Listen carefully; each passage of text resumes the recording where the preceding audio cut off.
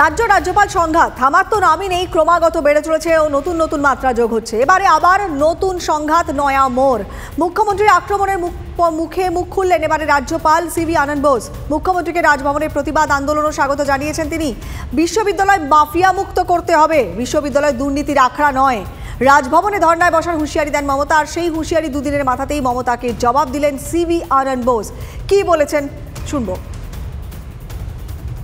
My esteemed constitutional colleague, the Chief Minister, is welcome to stage whatever protest she wants as a welcome guest inside the Rajbhavan.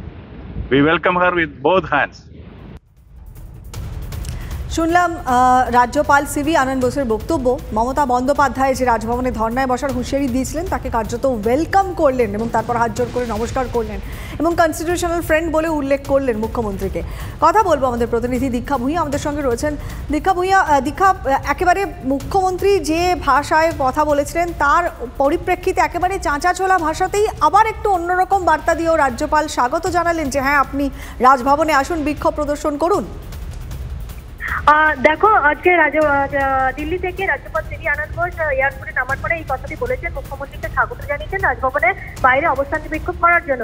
কিন্তু তারপরেই তিনি রাজভবনে ঢুকে একটি বাংলায় পুরোপুরি বাংলায় একটা কয়েক মিনিটের একটা তিনি প্রায় সাড়ে পাঁচ মিনিটের একটা তিনি বাংলায় বক্তব্য রেখেছেন এবং সেখানে তিনি কড়া ভাষায় বেশ কিছু কথা বলেছেন। তার মধ্যে একটাই কথা যে তিনি যে বিশ্ববিদ্যালয়গুলিতে উপাচার্য নিয়োগ করছেন, তা নিয়ে যে বিতর্ক তৈরি হয়েছে এবং তা নিয়ে যে মুখ্যমন্ত্রী আর্থিক অবরোধ এবং রাজভবনের বাইরে অবস্থান বিক্ষোভ করতে বলেছেন, তার প্রেক্ষিতে তিনি জানিয়েছেন, আমি বিশ্ববিদ্যালয়গুলির চ্যান্সেলর, আমি চাই এই বিশ্ববিদ্যালয়গুলি ভারতের সেরা হোক। কিন্তু বিগত কয়েক বছর ধরে বাংলার বিশ্ববিদ্যালয়গুলি যেহেতু দুর্নীতিতে ভরে গিয়েছিল, সেটা নজিরবিহীন এবং সুপ্রিম কোর্টও কিন্তু বলেছিল যে উপাচার্য নিয়োগ বেআইনি ছিল এবং সুপ্রিম কোর্টের সেই নির্দেশের প্রেক্ষিতেই কিন্তু বহু উপাচার্যকে ইস্তফা দিতে হয় এবং তার পর প্রেক্ষিতেই কিন্তু যেহেতু সার্চ কমিটি তৈরি গঠন হয়নি ইউজিসি নিয়ম মেনে সার্চ কমিটি তৈরি হয়নি সেই কারণে তাকে অন্তর্বর্তীকালীন উপাচার্য নিয়োগ করতে হয়েছে। এবং সেই অন্তর্বর্তী নিয়োগগুলি তিনি করেছেন নিজের মতন করে বাছাই করে রাজ্য সরকারের কথা না শুনে কারণ রাজ্য সরকার যে যে উপাচার্যের নাম প্রস্তাব করেছিলেন বা নিয়োগ করেছিলেন তারা দুর্নীতিতে যুক্ত ছিলেন এবং কেউ কারও কারও বিরুদ্ধে ছাত্রীদের বিরুদ্ধে হেনস্থার অভিযোগ ছিল। তা সেই কারণেই তিনি কিন্তু রাজ্য সরকারের কথা মেনে চলেননি। এই কথাটি বারবার মনে করে দিয়েছেন এবং তিনি মনে করে আচ্ছা। দিয়েছেন যে শিক্ষামন্ত্রী যে যে উপাচার্যের কথা বলেছেন নিয়োগ করার কথা বলেছেন তারা প্রত্যেকেই দুর্নীতিমুক্ত এবং সুপ্রিম কোর্ট সেই একই কথা বলেছে।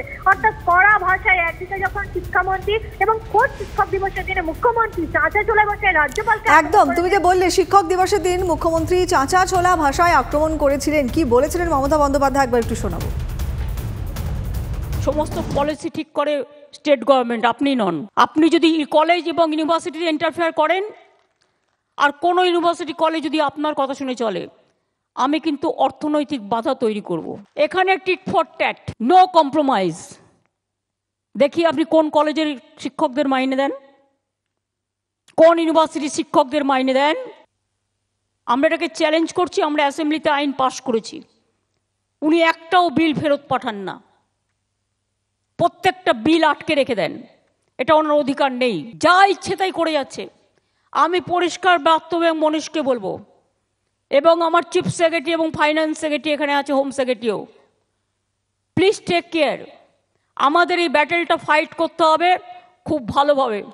আর যদি মনে হয় যে কারও অধিকার কেউ কেড়ে নিয়ে ফেডারেলিজমেকে ইন্টারফেয়ার করছে, তাহলে মনে রেখো, আমি কিন্তু বাধ্য হব গভর্নর হাউসের সামনে ধর্ণা দিতে। তার কারণ, আমি এডুকেশন সিস্টেমকে কোলাপস করতে দেব না।